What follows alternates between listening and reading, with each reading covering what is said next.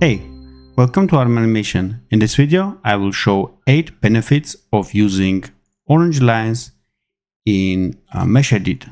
First one is that it allows you to grab them and move them in the setup pose. You can scale them and rotate using a moving pivot. Just move the point. Another benefit is um, loop edge. You can connect several points and close the ring and have maybe another one inside and then um, just hold shift and click on it. It will select the ring itself. No need to select every vertex. You can also select the edge similar way.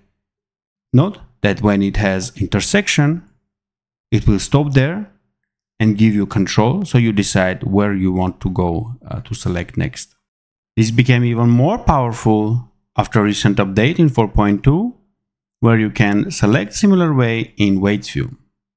Third benefit is that it gives you a little bit control over how Spine creates polygons. You can see we have two triangles. If I create uh, points, it creates triangles uh, and tries to be as minimum as possible. But sometimes you might want to change without even adding vertices. So maybe I want a triangle to go and be like this. For that, I will select and create orange line.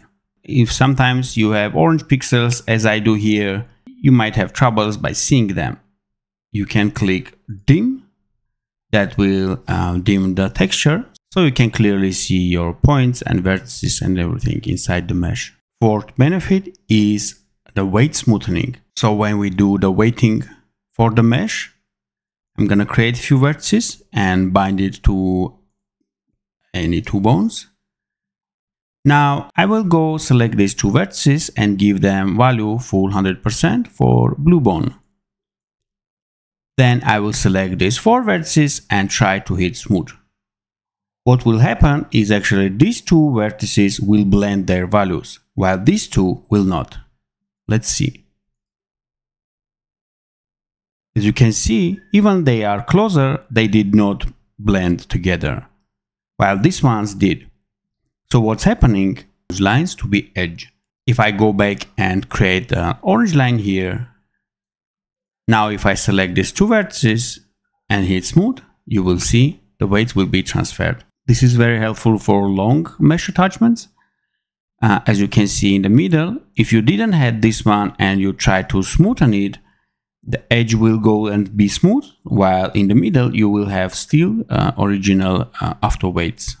If you have two vertices and you want to create the third one in the middle of them, there is no option for that, no snapping.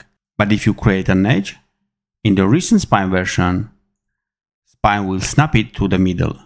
Same happens for any edge. Hold shift if you want to disable snapping.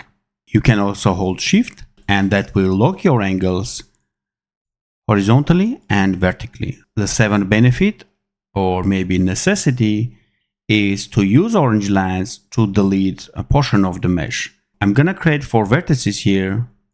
Let's assume we want to delete this bottom section. I don't need that. So if I go and change to delete mode, I cannot delete this line. Even if I create a point here and try to delete it, it will still delete the point and not the line. So even in delete mode, you can drag and create orange lines after you close the gap. Spine will afterwards allow you to delete it. The last benefit is wireframe.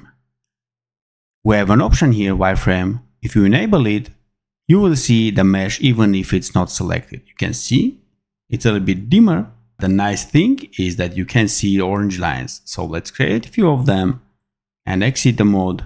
And here are they. This is helpful when you create bones over the mesh and you want some guidelines.